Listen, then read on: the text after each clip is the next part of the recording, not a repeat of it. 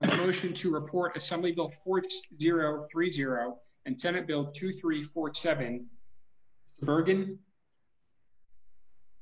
I'd just like to make a brief statement before voting on this bill. Uh, the only issue that I really have with the bill in particular is, is again, the vehicle by which it's going to be executed. I think at this point it's pretty well established that the EDA has quite a few things to take care of, and, and they're overburdened as it is.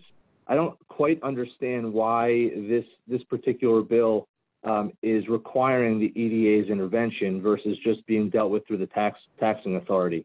I think that would be a more appropriate way to do it. I think we're adding a layer here that necessarily does not need to be added.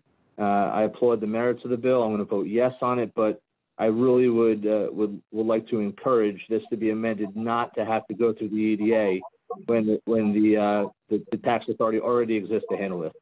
Thank you.